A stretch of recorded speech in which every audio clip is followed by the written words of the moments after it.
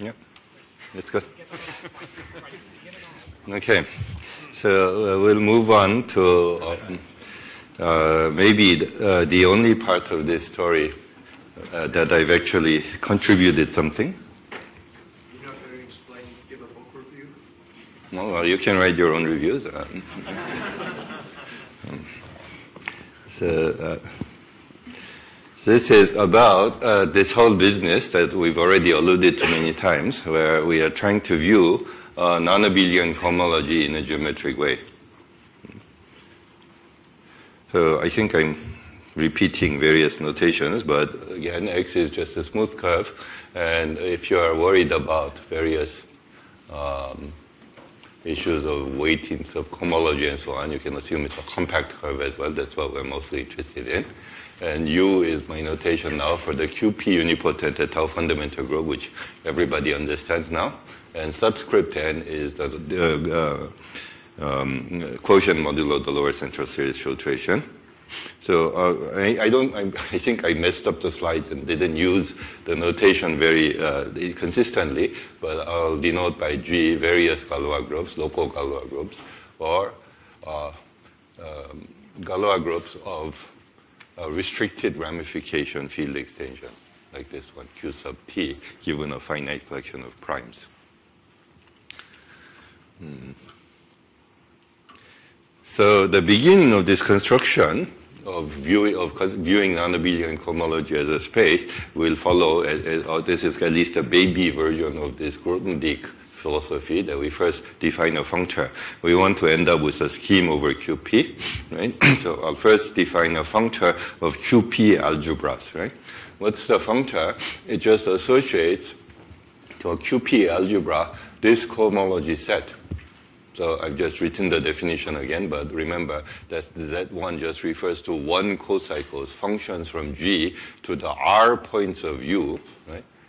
Uh, so again, I'm, I'm, being slightly inconsistent. Sometimes I write U, sometimes I write U sub n, depending. Of, of, course, we'll be mostly interested in this specific finite dimensional quotient U sub n, but sometimes I roll it all together and think about U all at once. But anyways, these are continuous functions that satisfy this cocycle condition, and then modulo this equivalence relation given by the points of U that sends a cocycle to a kind of twisted conjugate cocycle like this. Now, then you have to say various things. Uh, the most important thing, which is ends up being very elementary, but was tricky when I first thought about it, was to say what I mean by continuous. Yeah. So one needs to say continuous. And also the other thing is I have to say what I mean by the Galois action on this for a QP algebra R. And the answer to the second question is that the action on R is trivial. So that's the idea. So how does one think about this? There, are various approaches, but one way to do it, this is a good idea, not a bad idea in general. That when you think about this unipotent fundamental group, right, as any uh, finite dimensional unipotent fund, uh, algebraic group can be thought of as just being its Lie algebra as a scheme. So it's an affine space over QP given by its Lie algebra via the log map. And then when you think about it as, Lie, as its Lie algebra, then U itself is the Lie algebra together with this group structure given by this Campbell-Hausdorff formula, which for a finite dimensional unipotent group like this actually terminates after finitely many terms. So you don't have to worry about any power series. So we'll, for now, the approach that I'll take is really think about UN as being the affine scheme given by its Lie algebra. And then from that point of view, when I write U and R, that's just L and tensored with R simply. Those are the R points of that scheme. So, so, and viewed in this way, the Galois action just acts on the left factor and acts trivially on the right. So that's the Galois action on the R points. Uh, that's necessary to define the cocycles. And then the second point is that UN already, uh, as, uh, as appeared in the previous slide, since its Lie algebra is just an affine space, so UNR is just R to the n for some n, right? So, and you can compute that dimension as well. But uh, uh, now, I said we need to, why, why, am I doing this? Because I need to speak about continuous co-cycles, right? From the Galois group to these R points. So what is the continuous? Well, uh, what you put on here is simply the inductive limit topology of finite dimensional QP subspaces. R itself is a QP algebra, so it may be infinite dimensional. It usually is. It's very large. It might be a polynomial algebra or something. So then, but over a QP, there's this fact that on any finite dimensional QP vector space, there's a unique topology, right, compatible with its vector space structure. And so on any finite dimensional subspace of any QP algebra, there's a unique topology determined by the QP topology. And R is just a union of all those things. So just put the inductive limit topology on R as well as on all R to the nth power. One thing you have to be careful about is that the inductive limit topology on R to the n is not the product topology of R. Yeah? Both separately have inductive limit topology from finite dimensional subspaces. Right. So that, uh, and you do the same thing for all of these quotients, uh, graded quotients modulo the lower central series. And now I, guess I've defined, therefore, explained the term. So, uh, sorry, maybe I should briefly go back to this slide. So that's Z1 with all these definitions, just either cocycles in, in, the, in the sense I already said. These are continuous maps from G to UR that satisfy this condition with respect to the Galois action. Okay? I think explain, everything is defined now. right. Now, with this definition, the elementary proposition, which is still an amusing exercise to try, is that if you take hi now with coefficients in un mod un plus 1. So here, for this, i can be any, any i. Why? Because when, when you take these associated gradient things, remember, these are all just vector groups. So the, you can, uh, cohomology exists in any degree. For the whole thing, for the whole non-abelian thing, we're only considering H0 and H1. But for these associated gradient things, you have every I, and you can give the same discussion. And if you define it the way we just did, cocycles, I cocycles with values in, in, in, this, in this group, modulo the coboundaries, then in fact that turns out to be just the QP cohomology tensored with R. So this is an elementary fact, but still rather amusing to try to prove. So in other words, this functor of R is just represented by this vector space. That's all we're saying. This functor of R is represented by the vector space. Why do I bother then defining the functor of R in that way? Why not just this way? You could do that if you're just interested in this graded pieces. But for the whole UN, this doesn't make sense. That's why we just defined it first as co-cycles modulo coboundaries. Okay, but at the abelian level, at each graded thesis, it turns out to be the obvious thing. This definition gives you a representable functor. And then using this, you can represent the whole thing. so it's elementary, but still, for me, it's rather amusing. So the theorem that is, is that this functor that we just defined is represented by an affine QP scheme of finite type that represent principal UN bundles with continuous G actions. You have to say a little bit carefully what that representation means, but okay, we won't bother too much. We're mostly interested in the QP points. So to prove is by induction on n, and so it's basically this.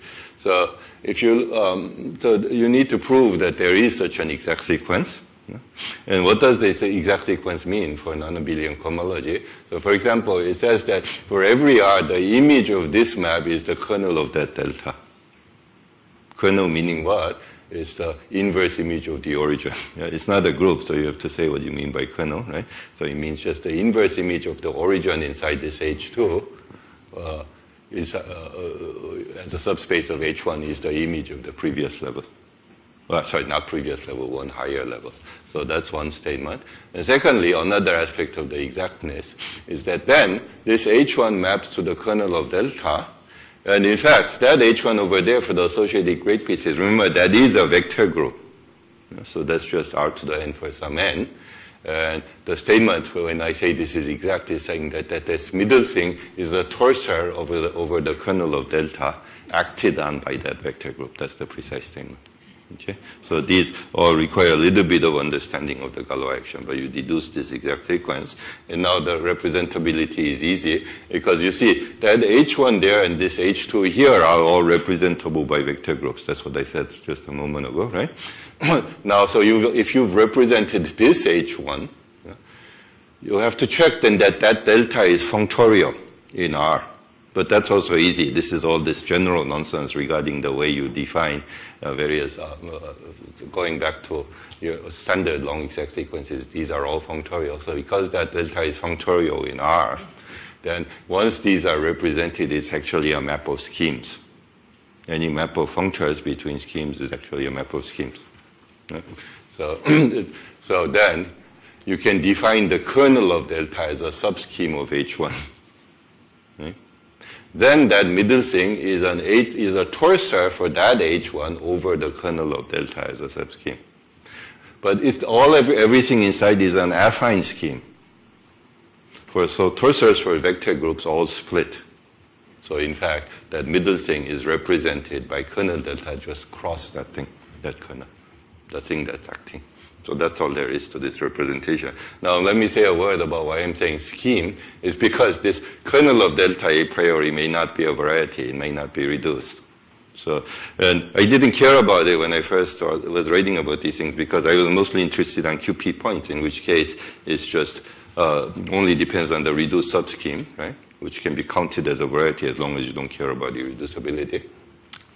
But then at some point I had to think about tangent spaces to these things in which case you have to consider whether it's a scheme or not. Maybe it's just a variety anyway. I'm not completely sure still, but uh, a priori it's a scheme. And that's all there is to the representability.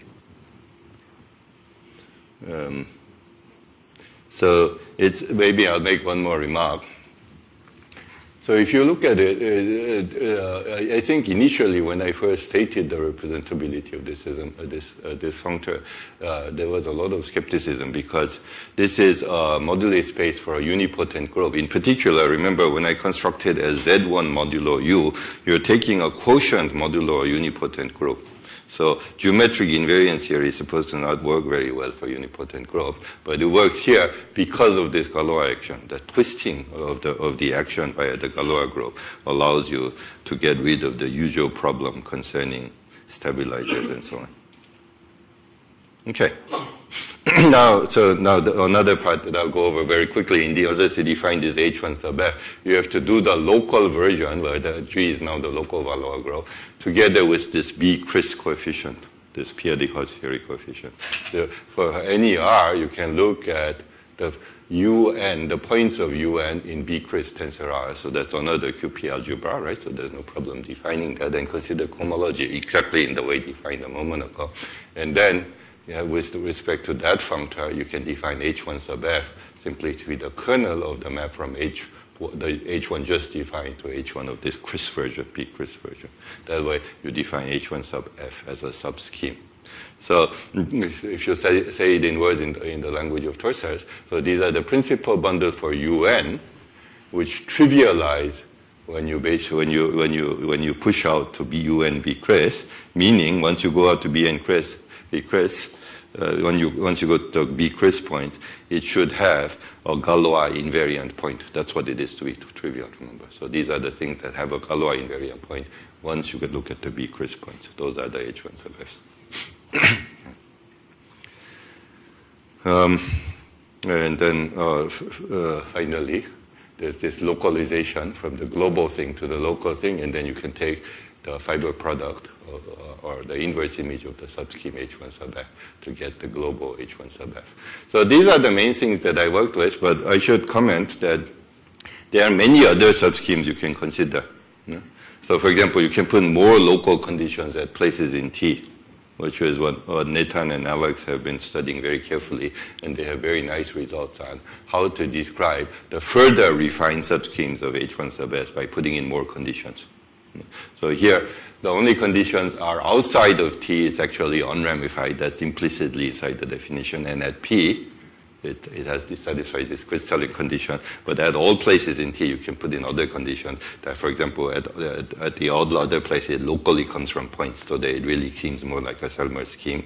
And so Alex and Nathan have really studied this carefully and have some very beautiful results. So what's meant by that F, in other words, can vary depending on the situation. And I, I, I, don't think I've used it very consistently. But people in, in abelian theory, like in Iwasawa theory and Bloch-Kato conjectures, those, those kind of in those, uh, uh, the theory developed in that direction, they don't use it so consistently either. So I'm allowing myself a lot of latitude. So what do we have now? We have this diagram from the, the global points to the local points, then you associate to a global point to a global torsor and a local point to a local torsor, and together with this localization map is the diagram we mentioned at the beginning. But now, uh, remember the way we've set it up, this actually comes from a map of functors. But they are representable, so now we have a map of schemes. So this lower horizontal arrow is really an algebraic map, which replaces the difficult um, inclusion of the global points in local points. And I'm viewing it as a kind of computable replacement of that inclusion. Um, yeah, so actually, maybe one thing. Why do the points map to H1 sub f? It's because this torsor of paths for the unipotent uh, completion actually has this Galois invariant point. So this comes from a p-adic Hodge theory isomorphism, which uh, it's um, you should black box. it's hard to get into here. It's a fairly difficult proof um, that um, I guess there are many people who proved it uh, in different forms, and I, so I can never keep track of it. So I just don't write anything. It's like uh, uh, Vologodsky had something. Martin Olsson had some versions of the theorems, and, and so uh, I, I, take no responsibility to give the correct attribution. So this is a fact. no, it's a, um, so if you look at it, the, the, what is this saying? It's saying that if you take the B crisp points of the torsor path for the étale QP unipotent completion from B to X, that's isomorphic to the B crisp points of the de Rham path. Together with this Hodge filtration and structure. And this is an isomorphism that respects all structures. So, but then this side, uh, this is just isomorphic as a Galois module to B crisp to the n, because remember that was just an affine space. Yeah. And this has a Galois invariant point. That gives us a Galois invariant point in uh, the unipot, P, étale unipotent completion tensor B crisp. So that's why everything, every point maps to H1 sub f. It trivializes, the torsor trivializes over f, over B crisp. okay, now let's finally fill in this uh, diagram, this what people call the cutter. so how does this work? So here, again, I'm being kind of very brief. But the point is that if you start with a crystalline torsor in the previous sentence for, for the unipotent fundamental growth, yeah? so remember it has a coordinate ring, it's spec of something, that's what I'm writing as script AT the ring of functions, the affine coordinate ring of x, then what you can do is you can do a coordinate ring version of this Fontaine's uh, B crisp, uh, D functor. That is, you just take the coordinate ring of T, tensor with B crisp, and then uh, take the Galois invariant. So this kind of thing has been studied a lot for vector representations, right? But this work for this in this non-abelian setting as well. And what you get is you, starting from a torsor for the étale fundamental group, by applying these things to the coordinate ring, you get a torsor for the de Rham fundamental group. And you get Hodge filtration, sorry, misspelling, Hodge filtration and Frobenius structure simply coming from B crisp. So B crisp has those structure that gives you a structure on uh, the Hodge filtration and Frobenius structure on this torsor as well, defined to be the spectrum of the GP invariant.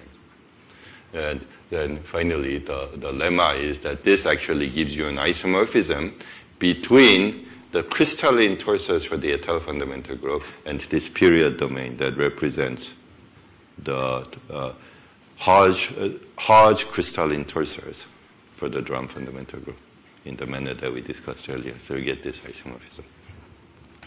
Uh, so I, I, put at the end of the slide a brief description of why this is an isomorphism, but uh, maybe I won't uh, go over it in the lecture here. But in any case, now we're done setting up the diagram.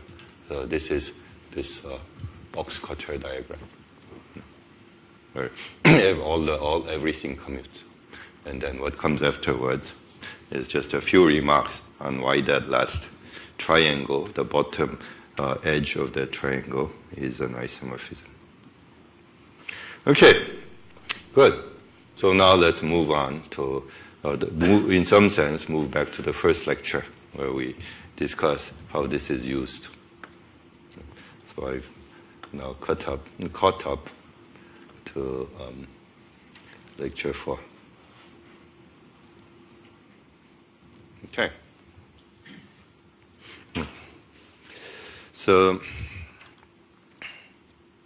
I put the diagram back on the board. I think I, I put some unnecessary explanation up here because I originally made a lot of the slides over an arbitrary number field because Nathan and also Brian, uh, sorry, Daniel Hast have figured out how to do this for number fields as well. And now I'll stick to the case over Q. So this is the diagram again. And here, here's a conjecture, I'm calling it conjecture A. The image of this localization map should be non-dense for n sufficiently large. So this follows from a lot of standard motivic conjectures, like the Bloch-Kato conjecture, which is also kind of nice conceptually or philosophically, because Bloch-Kato conjectures are all generalizations of, B, of the Birch and Swinnerton-Dyer conjecture to other varieties and higher codimension cycles and so forth. So that's the way. So they are a, a, higher generalization of BSD, and that's what implies that this localization map has a non-dense image. And then it follows right away from conjecture A that the rational points have to be finite. So you've all seen this argument now, I think, in various forms. I'll just tell you briefly how it goes again. Because if the image is non-dense, then there's a function, these are all affine varieties, there's a function that vanishes on the image. Also after applying B because D is an isomorphism, the Fontaine functor is an isomorphism. So in other words, alpha restricted now to the image of localization is, uh, is zero. Uh, so then uh, we can pull that alpha back to the local points of the curve using this map, oh sorry, J de Rham, this uh, diagonal map. And then because of the commutativity of the diagram, it has to annihilate the global points. So that's the argument, right? But in fact, uh, that, uh, uh, as mentioned earlier, this function, when you restrict to the global points, is a non-zero convergent power series on each of these residue disks. And these convergent power series have only finitely many zeros. Uh, I think there was a uh, question about this earlier. It's, a, it's a actually an amusing exercise to prove this, why it only has finitely many zeros. So essentially, it's the so-called Weierstrass preparation theorem that power series have, can be the zeros is, a, is, is essentially a unit times a polynomial, except the Weierstrass preparation theorem is usually stated for uh, integral coefficient power series, right? So you have to modify that slightly to work for, for, to get it to work for convergent power series. But that's that's also an amusing exercise to figure out how that works. Hmm.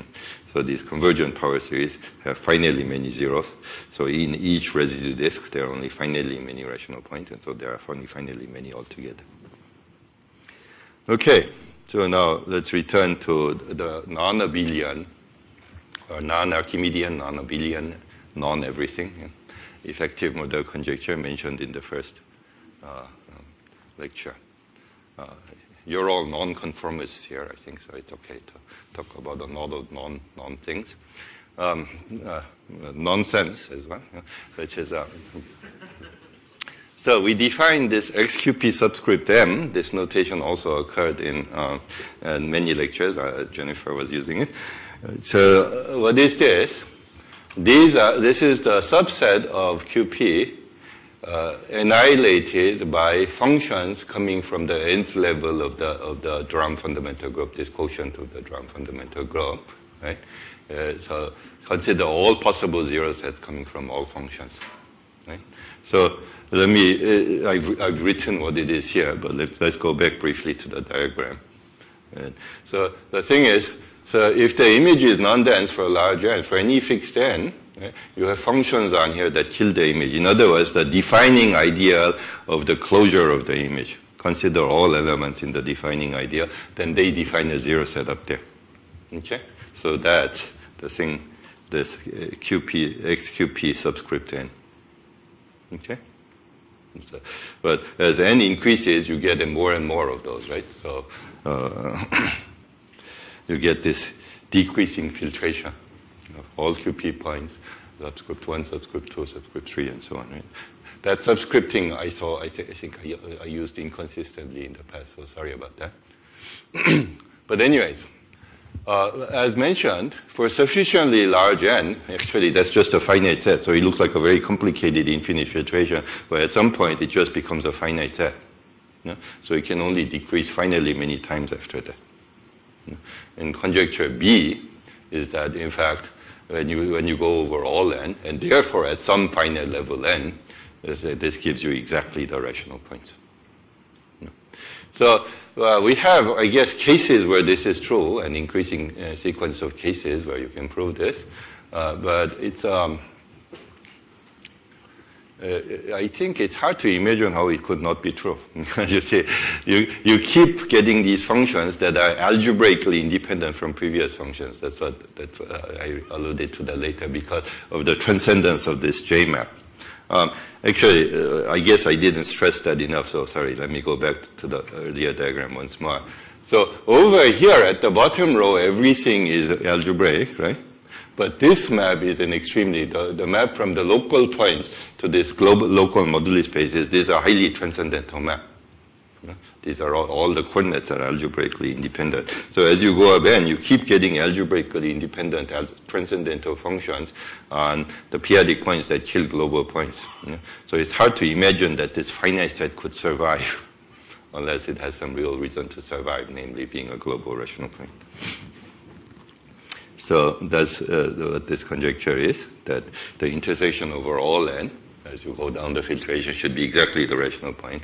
And then conjecture C uh, is that this intersection should in fact be computable. Okay. So that's the non-Archimedean, non-abelian effective Mordell conjecture. And you see, it's the ABC conjecture.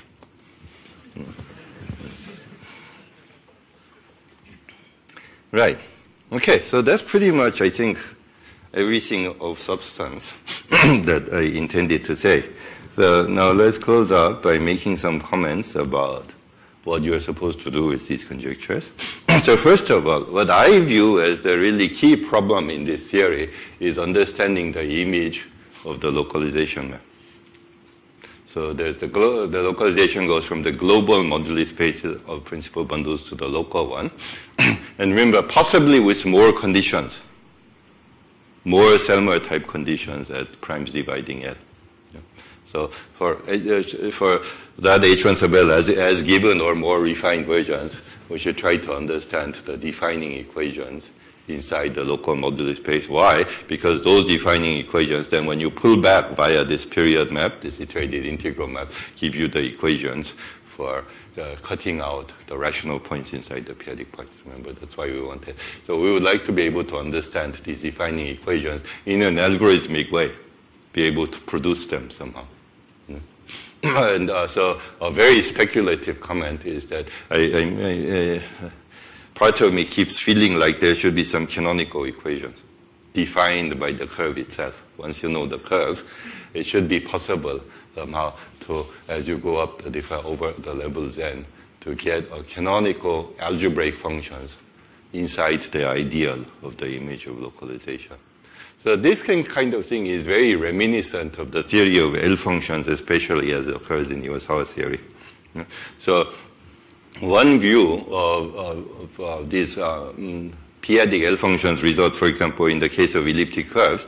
Say, if you look at the rank zero case of, of the BSD conjecture, if you examine carefully, um, so take the theorem that says that if the L, L function doesn't vanish, L function of an elliptic curve doesn't vanish at one, right?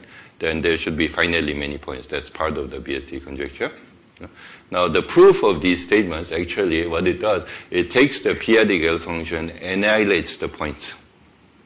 There's a p-adic L function multiple of the canonical differential form that kills the global points on an elliptic curve.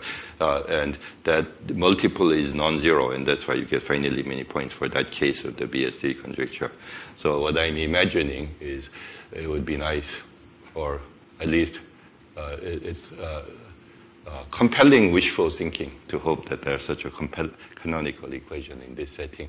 And part of the project the goal of, of the project that some of you have been doing is at least examine the, the existing evidence, right? The cases that we know.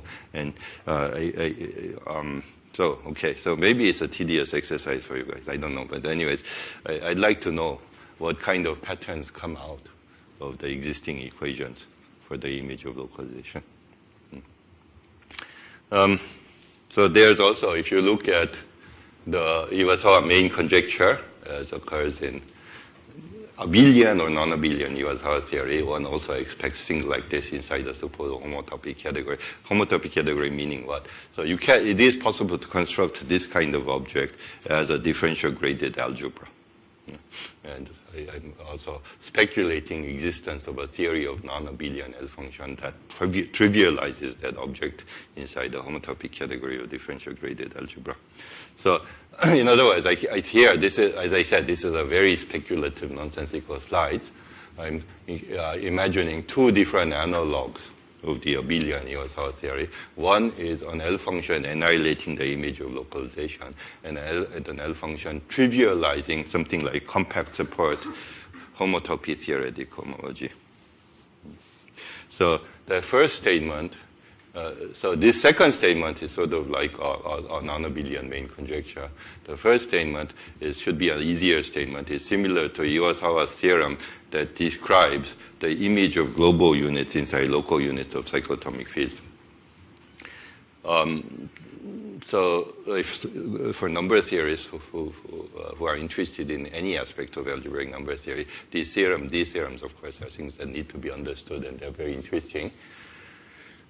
So if you look at Iwasawa theorem, this theorem I'm quoting, quoting here, by the way, essentially what it's doing, it, it proceeds by producing a lot of units.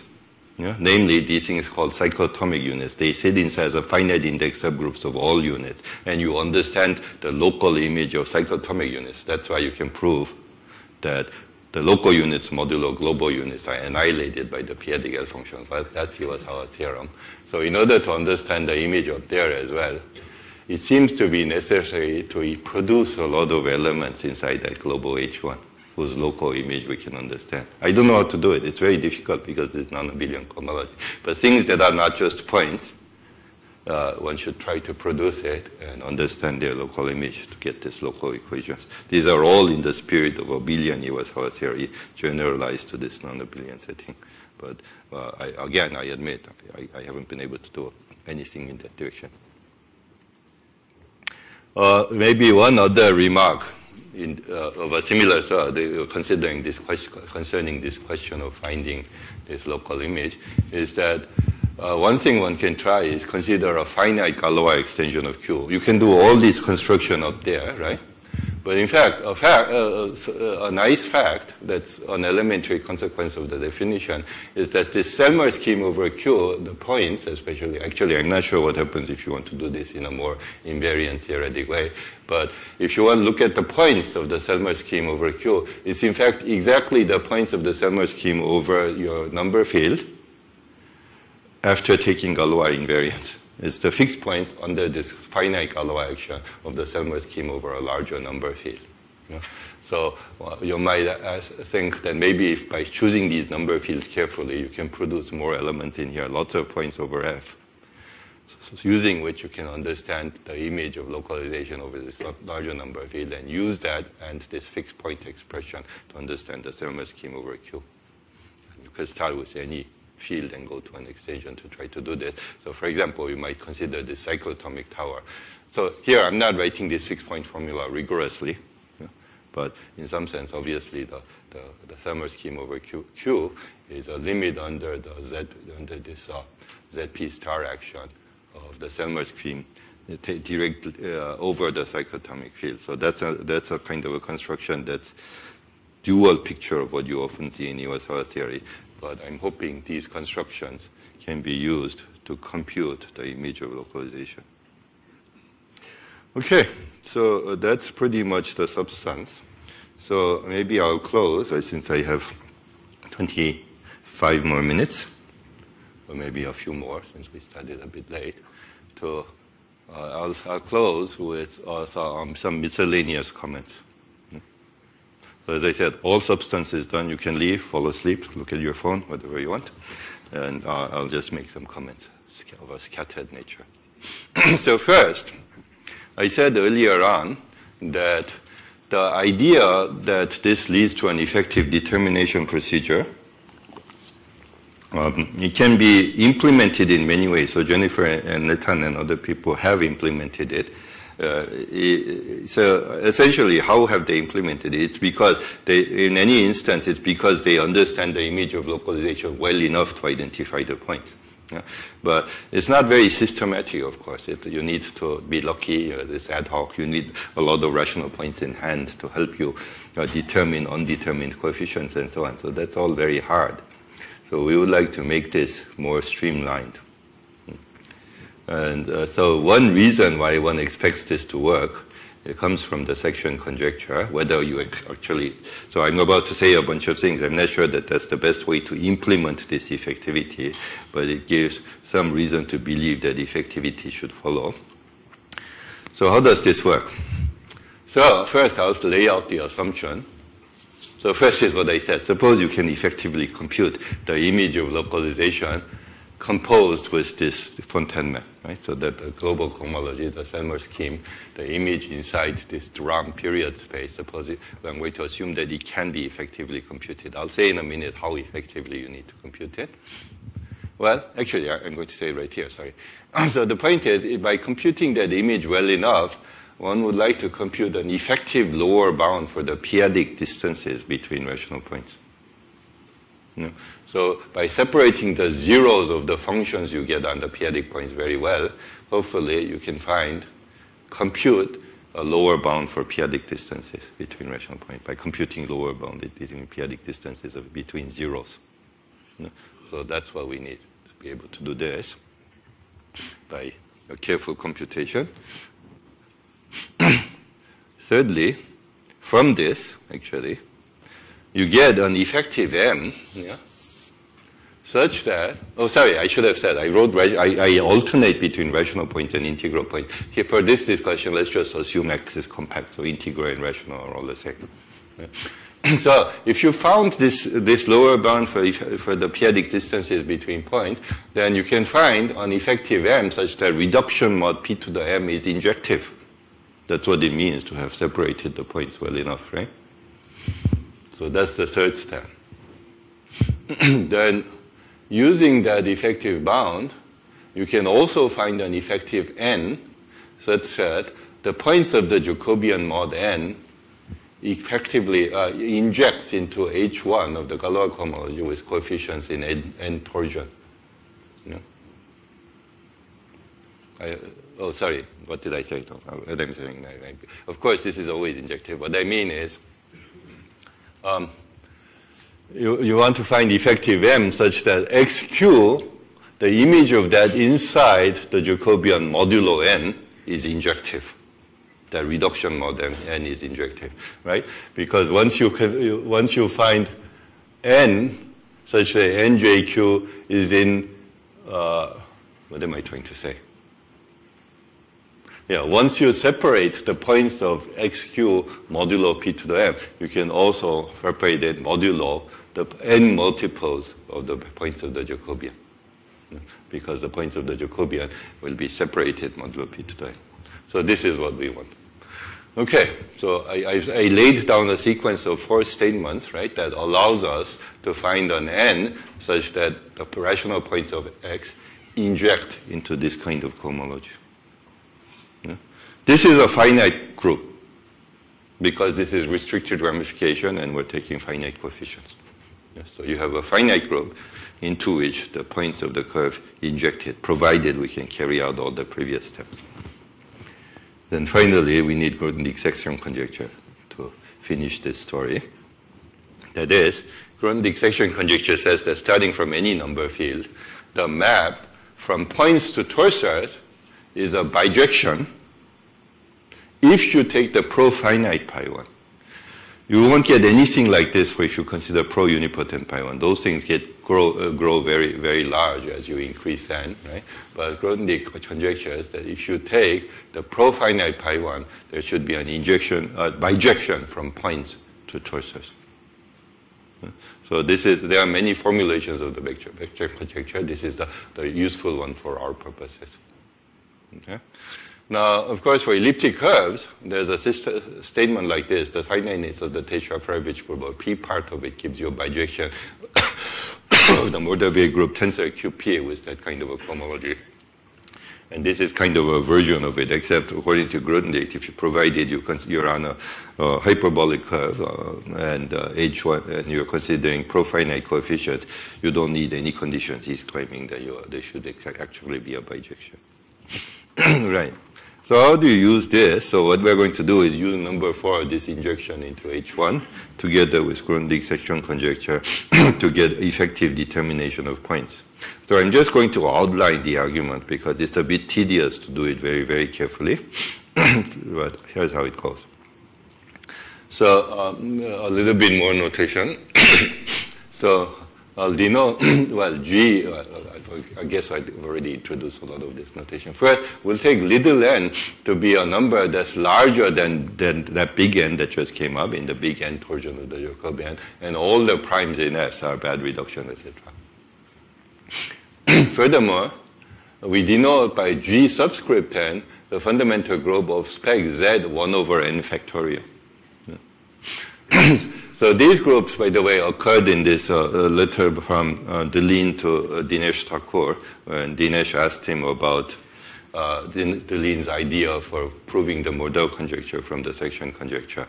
And Deligne admits that he, it fails, but he, he, shows certain constructions that's related to the original statement, and this group occurs there. I'll denote by delta the geometric pi 1 of x. And Kn is the intersection of all sub open subgroups of delta of index at most n. Because that's a topologically finitely generated group, there are only finitely many such subgroups. And because you're taking intersection of all of them, it's normal. Yeah? and delta now, bracket n, is the quotient of delta modulo this kn. So this is some finite quotient of delta. And now it's a minor exercise to show that inside this quotient, the prime divisor of divisors of orders of all elements in this quotient are actually less than or equal to n. That's the way, we, way we've set up this problem. this is a group with the property that any prime device, prime order that occurs in there is less than or equal to n. So uh, then we take this exact sequence involving the arithmetic fundamental group, the geometric fundamental group, and the Galois group of the base, and push it out to that, to, to that finite quotient of the kernel. so this pi n is just fits into this push out, push out diagram. now then, uh, another fact is that uh, so this requires a little bit more of the theory of this arithmetic fundamental group. Once you push this up, because the action of that delta n is unramified outside n factorial, yeah, this diagram can be pulled back from this quotient, this, uh, quotient group Gn of, of extensions unramified outside n factorial. So you get a pullback diagram like this. And where this, this thing in the middle is pi 1 of a model, smooth projective model of X over the spec of Z with one factorial inverted. now, furthermore, any point in X actually defines, remember, it, originally in the section conjecture, it defines a class of torsors for the profinite pi 1, right? Uh, the non-abelian cohomology of the whole Galois group here now, with this setup, it actually defines a class with all these restricted ramifications. why did we do all this? Because this thing now is a finite set. A priori, it's a finite. So every x defines a class in this finite set for every n sufficiently large, as in the previous discuss, as in the previous slides. right. So how do you care, how do you construct an algorithm out of this? Well, here goes.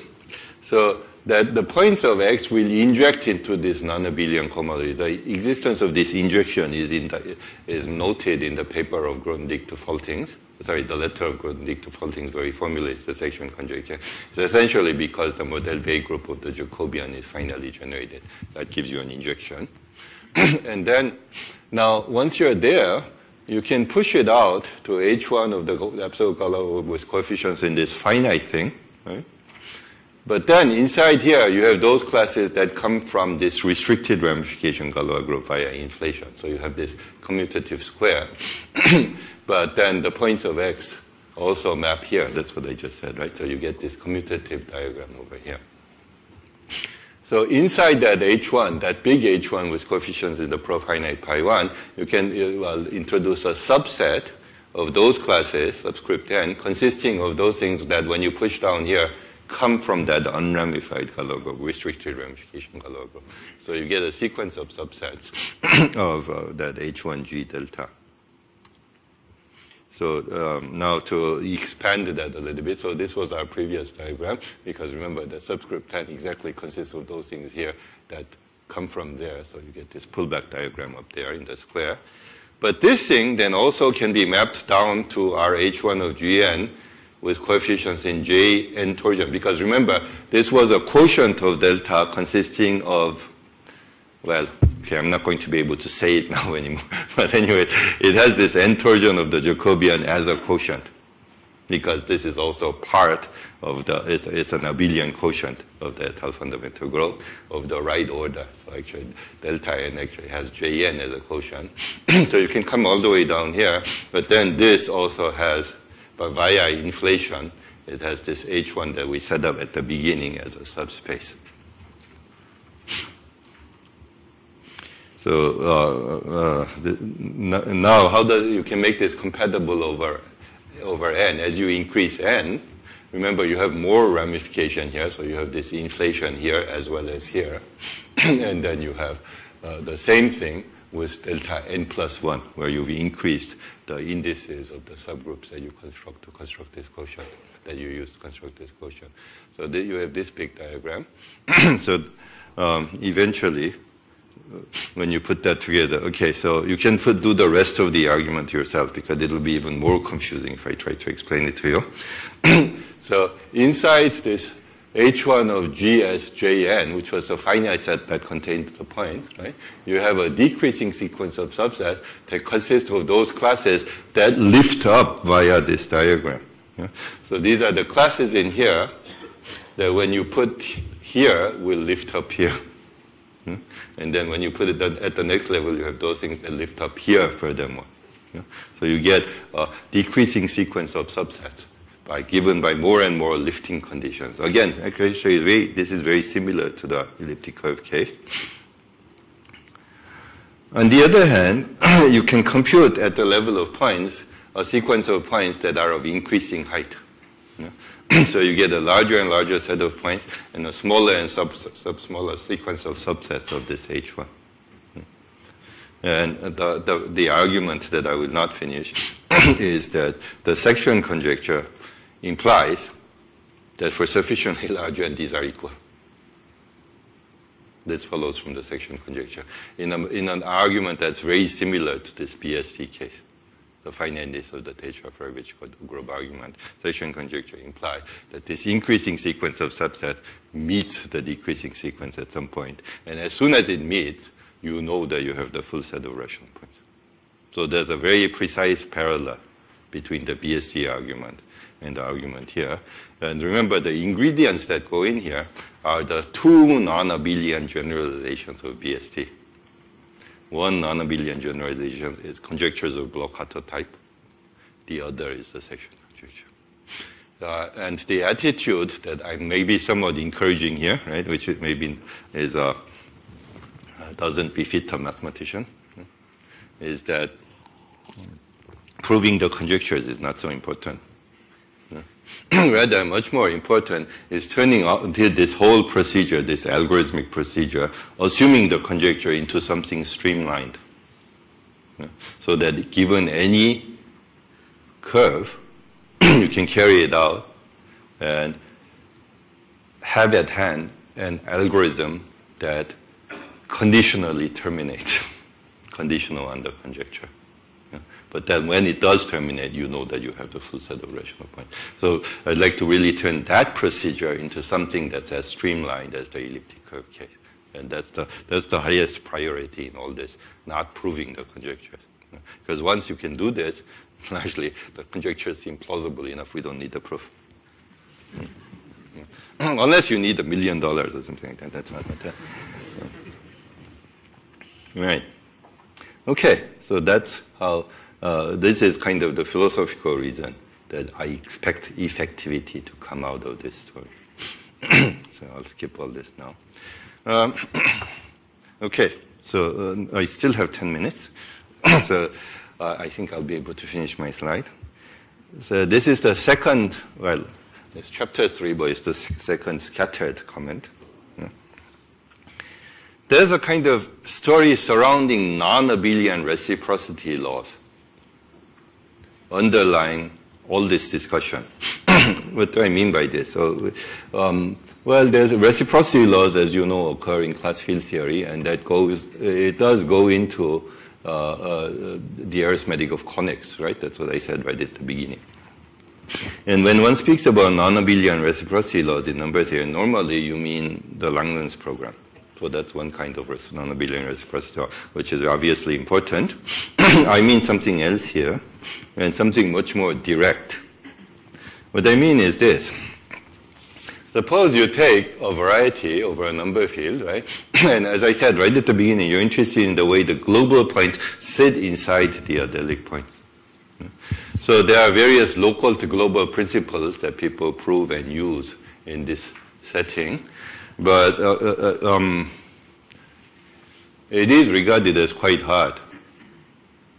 It's a hard question, or maybe even a nonsensical question to ask. How do you describe that subset of the global points inside the adelic points? So when you first teach about arithmetic of conics to undergraduates, they actually always ask that question, and then we shut them up. That doesn't make sense. But actually, I think it does make sense, right? Um, so I think one way of understanding the ordinary reciprocity law of class field theory is it's kind of giving a partial answer to this question when the variety is GM. I don't think that's how you normally look at the reciprocity law, but I think this is an important viewpoint. Because what, does it, what happens in the case of GM? Well, in that case, the adelic points of GM is exactly the group of ideles. Right? The res, uh, reciprocity law of abelian class field theory goes from that to the abelian Galois group of F. Right? And then what does the reciprocity law say? It says that in fact the global points are inside the kernel of the reciprocity law. So it is a statement of Diophantine geometry, although one doesn't always look at it that way. Um, you might know that when you do this over function fields, in fact, rather than number fields, the kernel is the reciprocity law, the kernel of the reciprocity map is exactly the global points in that sense. So the global reciprocity law gives you a group valued map that gives you an exact defining equation for the global points inside the, the points. That's quite striking. That work, it works that way for, for function fields. Because of the real places, it doesn't quite work that way for number fields, but still it's interesting that you, can, you should think of the reciprocity law as giving a defining equation for this almost nonsensical seeming question for the, for the curve GM, variety GM. you can do something similar for affine conics. I want to explain this a little bit. You can look at the slide later and try to figure out what I meant there. Um, so, how, uh, uh so again, so the point is, this is uh, continuing the nonsensical question. Can you do this for other varieties? And the answer is that you can. It's not very useful but you can do it. And this, at least for me, was a bit of a surprise. I'm going to simplify a little bit here because you need some conditions on, on cohomology of the Galois group with coefficients in various graded pieces of the geometric fundamental group of X for this to be literally true. But even the, when those conditions aren't satisfied, you can make this complication, this, uh, this whole discussion more complicated and get a version of this. So I'll just tell you the simple story. With some conditions on cohomology, what happens is that you can start with a general variety and regard it as coefficients for class field theory. GM are the usual coefficients for class, the abelian class field theory. But now just take, take any variety uh, regarded as coefficients for class field theory. Meaning what? take the adelic points, right? And it turns out that there's a filtration of the adelic points. I've denoted x sub 1, x sub 2, x sub 3. I think this is where the inconsistent notation comes in. With the previous discussion, I think a, a, the adelic points was x sub 0. But anyways, let's not be bothered by that right now. You get a filtration And these filtrations have the property that at every level, there's a more and more refined reciprocity map. From this set to a group, well, it, it's a group. This ends up being a group. The group nature doesn't seem to be so important. The important thing is that this is a pointed set. Of course, a group is a pointed set. And the way this works is that the kernel of the reciprocity map, that is the inverse image of the origin under the nth reciprocity map, is the next level of the filtration. And at that level, you get another reciprocity map. So you keep going in this manner. So you get a sequence of more and more refined reciprocity maps with coefficients in this general variety. And this is quite interesting, and, but it's very hard to study, so I haven't done anything with it after defining this, uh, this uh, filtration. but there is a, so, okay, so I've set up the diagram like this. So somehow the whole adelic points, there's a subspace consisting of the kernel, of the zeroth reciprocity map, then you get another reciprocity, second reciprocity map, its kernel uh, is, uh, has the third reciprocity map, and so on. So you get a more and more refined sequence of subspaces. And the reciprocity law, in fact, is that the rational points of the variety itself, right, is actually in the infinite kernel. So this is actually, I'm making it sound much more complicated or deeper than it is, but I think it's still very interesting because this is genuinely a non-abelian generalization of Artin reciprocity. Artin reciprocity is disdainment for GM. For GM, it stops at n equals 1 because there's no, it has to do with the, the non-abelian nature of the fundamental group. But um, still, it is a genuine generalization that works for uh, many reasonable varieties, for example, curves of higher genus. And uh, the conjecture uh, uh, is another version of the earlier conjecture is that when X is a smooth projective curve of genus at least 2, then when you take this infinite kernel of the reciprocal and project to the p-adic points, they should again be exactly uh, the rational points, the global points. So yeah, it gets I wrote QP, this should be FV or something, right? For, for a little bit inconsistent notation. It's a completion of, of F. Okay, so that's another version of the earlier conjecture. But um, the idea that you should look at non-abelian reciprocity in this way, I think, anyways, is an interesting and important one. That, uh, and anyways, to go back to the beginning of these comments, that the reciprocity law should be viewed as a statement of Diophantine geometry and generalized that way. Hmm? I think it's worth thinking about. Okay, so that's the next comment. So finally, uh, actually, maybe there's one other comment that I'll make, which because there was a question in relation to this earlier. So remember, uh, so I forgot to make those slides, so I'll just say it in words but I, there was something on my mind. I kept saying I should say it at some point, and I kept forgetting. Uh, so as we said, when in the case of GM, it only has an abelian fundamental group, so this whole story degenerates quite a bit, right? But uh, for those of you who have very abstract inclinations, right, you can try to ask yourself, how do we generalize the, all the discussions we've had so far to spaces that have simple fundamental groups? For example, simply connected spaces. None of this works, of course, right? Not, not, not, only simply connected spaces, actually the situation is worse than that. For most higher dimensional Shimura varieties, for example, this unipotent completion is zero. Because of this, this uh, the, their fundamental groups tend to be lattices inside reductive groups. And in that situation, unipotent fundamental groups tend to be zero. So you have to, you could use, try to use other fundamental groups. That's one kind of strategy. But even if you have no fundamental groups at all, what are we really interested in? We're interested in what, uh, how the, uh, uh what were we doing? We were encoding points into homotopy classes of paths, right? From a fixed base point to X. Or we might say we're interested in the fundamental groupoid together with some Galois action, right? As encoding the points and allowing us to construct families of objects, moduli spaces or principal bundles that are better behaved than points in some sense, using which we can try to cut out the points. So that was the strategy. But now there's a lot of fancy homotopy theory, even for simply connected varieties, right? That allows you to study variation of objects with respect to points, various categories. I mean, for example, higher homotopy groups is one thing, but there are many other variants of these days with the advent of higher stacks, derived geometry, and so on. So I think there are some of you who are interested in very abstract machinery. Yeah? So you, could, you can also think about simply connected varieties where you can study the variation of higher objects of homotopy theoretic types and use that to study points. Okay, I think I essentially used up my time, but I only have a few slides left, so I'll just finish because these are very easy slides. You don't even need to concentrate because uh, this actually fits in very well with uh, uh, Boss's defense of the Jacobian. I also like the Jacobian, by the way. Hmm. Um, and uh, because you see, this whole story that I'm describing here in my lecture actually arose from the study of the Jacobian in many ways, but in a, in a path uh, along a, a path that's maybe not often appreciated very much, right?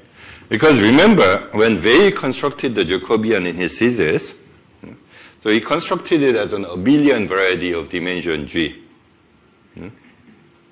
That is, Uh, it's an algebraic variety.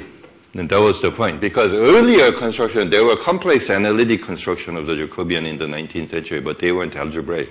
but why did he construct it algebraically? Because, well, he, well, first of all, from our modern point of view, it's an algebraic variety because it's a moduli space of line bundles. That's one way of interpreting it.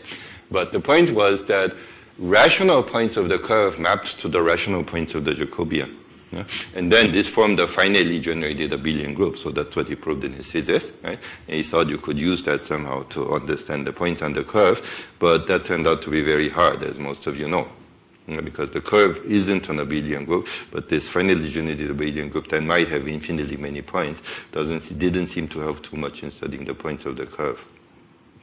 So about 10 years later, so they uh, considered the following variant. What he did was he considered the moduli space of vector bundles over the curve and thought of it as a non-abelian Jacobian. So the title of the, of the, of the paper is Generalization of Abelian Functions, meaning theta functions, right? And he thought somehow studying this moduli space should give a kind of tool for studying points on the curve while avoiding the proliferation of points that arise from an abelian group. So that's the goal that he states right at the beginning of the paper. He's actually very interested in the Mordell conjecture at this point. And uh, it doesn't work, but this, this construction is very important and it influences a lot of subsequent developments in geometry, in algebraic geometry, the theory of moduli, Hodge theory, non-abelian Hodge theory, and so forth. So I've said a few, uh, just mentioned a few of the subsequent developments here. So Serre, in the obituary, Weil's obituary, claims that this paper is very important. He says there's a text presented as analysis because of functions, right, whose significance is essentially algebraic, meaning algebraic geometric, but whose motivation is arithmetic, meaning the Mordell conjecture. That's what he was interested in at that time. then he said, Serre goes on to say that Weil was ahead of his time because nobody knew the proper geometric invariant theory and so forth to implement his idea of using this to study points on the curve. Now, in that, Serre is not correct because uh, now we have all the geometric invariant theory. We want to construct these moduli spaces as coarse moduli space, algebraic stacks, and whatnot. But nobody has succeeded in using these moduli spaces to study points on curves. It might be possible to do it, and I do have some ideas on how you might do such a thing, but nobody's done it. Nobody's actually used this uh, uh algebraic geometric construction of moduli of non-abelian bundles to study points. Instead, one went in other directions. Yeah. Instead of uh, looking at the algebraic construction, we actually went back to the analytic construction, where the Jacobian then can be thought of extensions of mixed Hodge structures, which then generalizes to spaces of torsors and admit non-abelian generalizations in Hodge theory that was studied very carefully by Dick. Uh, so this is a very important paper, but people don't cite it too much, right? did, did he do the higher? But did, not you write about this first, and then you developed it with Zucker? I forgot. Anyways, okay, yeah, sorry. Anyway, so, so over uh, this uh, this idea of generalizing this Ext group construction of the, of the to the non-abelian case first occurs in Hodge theory in Hain and Hain and Zucker's paper. Then over QP, we have our unipotent Albanese maps and classifying spaces for torsors. So that's it. Uh, this is summarizing in one, one slide everything I've said so far. But it's interesting that all we are trying to do is finding the appropriate analog of Jacobians in this story. So it's really not, uh, you don't have, the Jacobian doesn't need defending. Mm. Uh, we've given it plenty of respect already. Okay, well, thank you very much for your patience.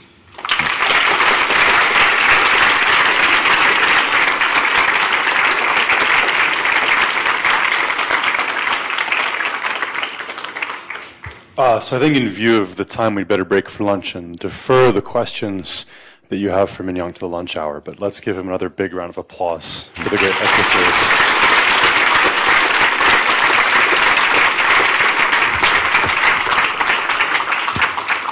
Uh, we'll resume at 2.30.